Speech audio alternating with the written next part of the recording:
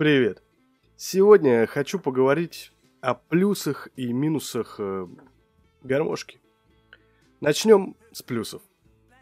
Первым неоспоримым является, наверное, тот факт, ну не наверное, а точно, что гармоника очень полезна для здоровья, причем не только физического, но и ментального.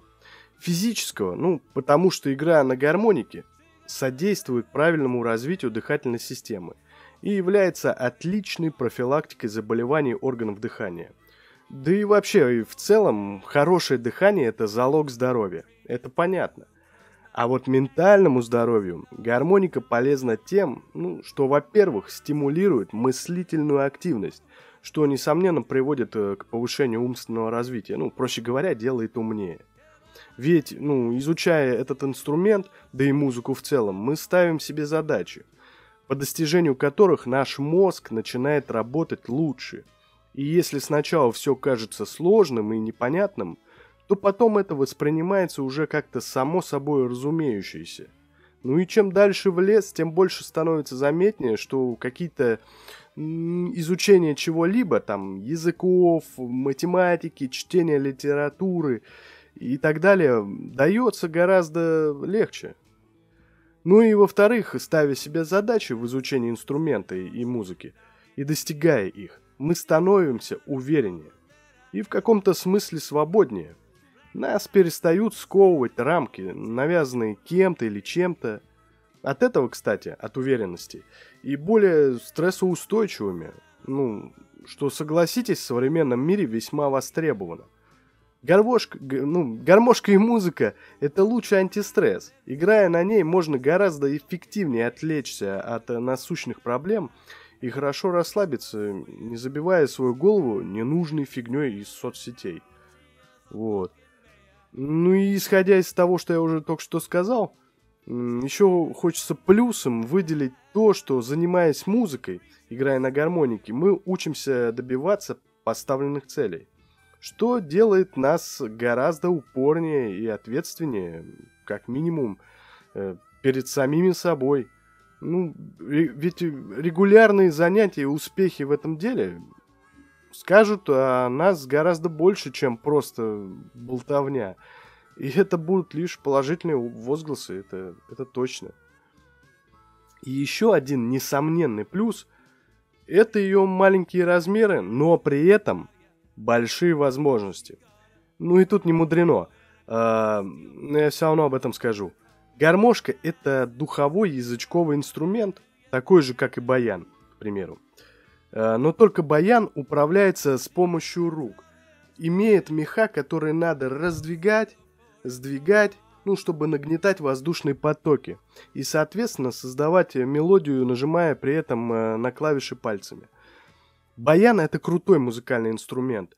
Но за счет того, э, о чем я только что сказал ранее, его конструкция уже становится громоздкой. Ну и согласитесь, с баяном на руках вести повседневный образ жизни уже не так комфортно, как с той же гармошкой, которую кинул в карман и забыл, а когда надо, достал и сыграл. Причем звучит она так же нехило, как баян. Ну и тут все просто, потому что мехами выступаем мы сами, а именно наша дыхательная система. Э, а условные клавиши в виде отверстий э, с ними взаимодействуем своим языком, своими губами, нашим дыханием. При этом резонатором является наш череп и наша грудь. Ну, это, это просто гениально на самом деле. Плюсом мы сами можем контролировать воздушные потоки, которыми решаем, какое звучание будет по итогу. Будет оно нежное, тихое, резкое, громкое. Все зависит от нас самих. Это дает очень богатую почву для творчества, при этом не создавая дискомфорта и каких-то ограничений, связанных, опять же, ну, с, теми, с теми же размерами. Да? Вот. Ну, еще одним плюсом, я думаю, является то, что губная гармошка позволяет проявить себя, позволяет как-то высказать, высказаться. Ведь э, всем нам от мала до велика очень важно быть услышанными. Человек – это вообще социальное существо, как бы кто что не отрицал. И вот этот вот э, маленький инструмент дает возможность проявить свою индивидуальность, раскрыть э, свой внутренний мир с помощью музыки. Ведь не всегда возможно сделать это словами. Хотя, знаете, можно играть, и петь, и сочинять, и кайфовать. На самом деле легко. Ну и, наверное, к пятому плюсу я отнесу как раз то самое социальное взаимодействие.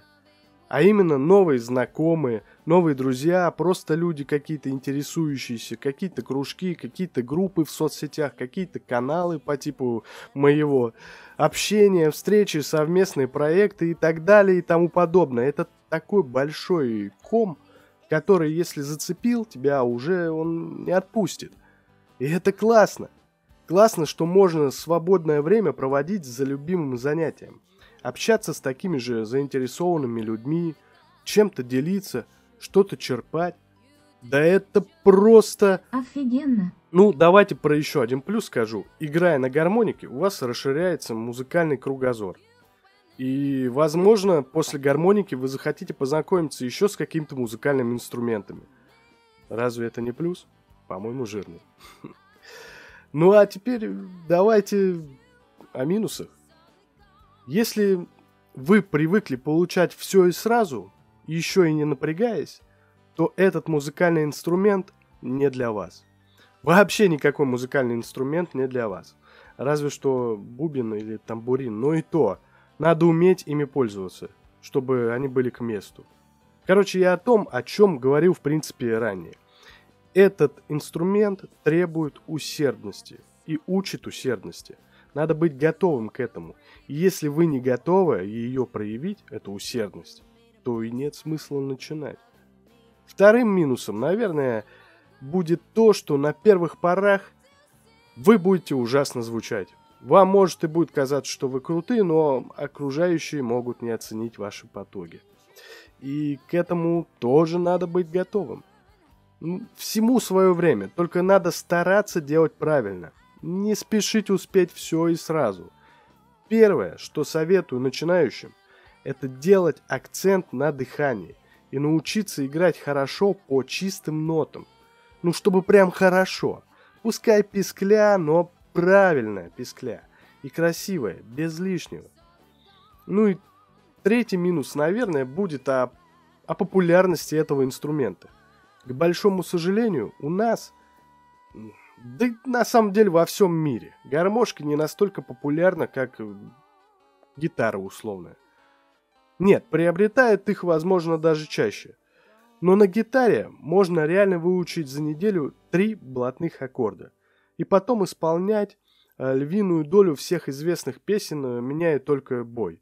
Где-нибудь во дворе или на тусовке и всегда быть в центре внимания, всегда дополнять атмосферу или же создавать ее самому. Ну потому что даже если ты играешь на гитаре не очень, ну, с пивом сойдет. И я ни в коем случае не умоляю достоинств такого прекрасного инструмента, как гитара. Естественно, чтобы играть на нем прилично, нужно будет потратить немалое количество жопа часов. И лет, я бы сказал. Это понятно. Но вот гармошка, к сожалению, очень редко таким может похвастаться. Ну, то есть, если ты хорошо на ней играешь, э, создать настроение или развлечь получится.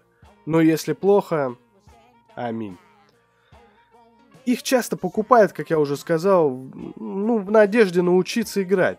Или в подарок, э, но либо забрасывают, столкнувшись с первыми, с первыми сложностями, либо она и вовсе оказывается не нужна.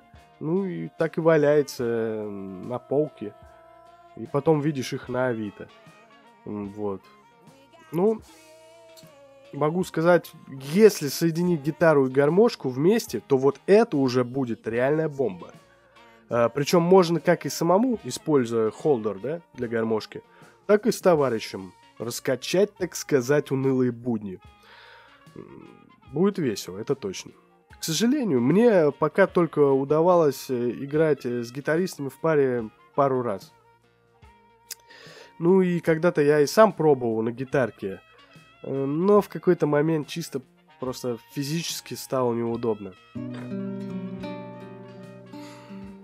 Однако все возможно. Скажу я вам.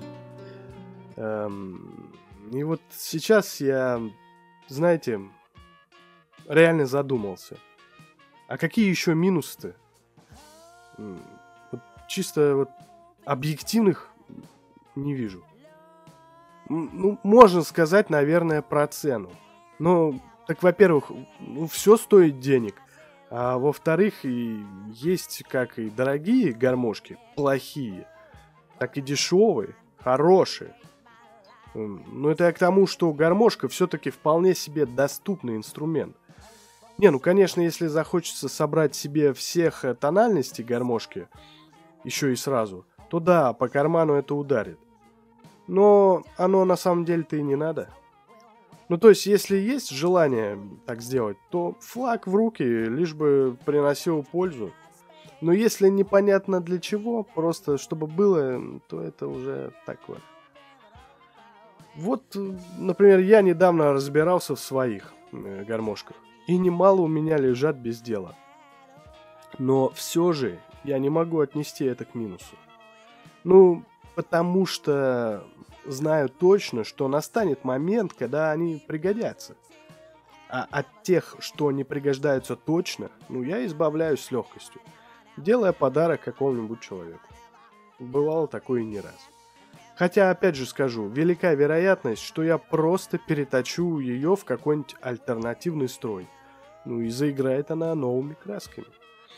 Кстати, всем советую так делать, если что. Ну, в общем, если разнообразие брать минусы, ну, то, возможно, для кого-то это и минус. Но для меня это однозначно плюс. Ну и вот сейчас я думаю заканчивать свой спич уже. Пишите, какие плюсы, минусы заметили вы. И... Давайте узнаем, что нам выдаст рандомайзер – э, сегодня. Я, как всегда, разверну камеру. Тут я уже экранчик. То есть это в этот рандомайзер зашел. Сейчас разворачиваю камеру. И смотрим.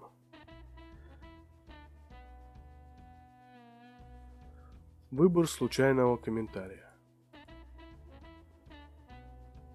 А Александр Чернявый пишет, что я превосходный блюзовый ведущий. Это приятно. Вот такие комментарии стимулируют работать еще больше.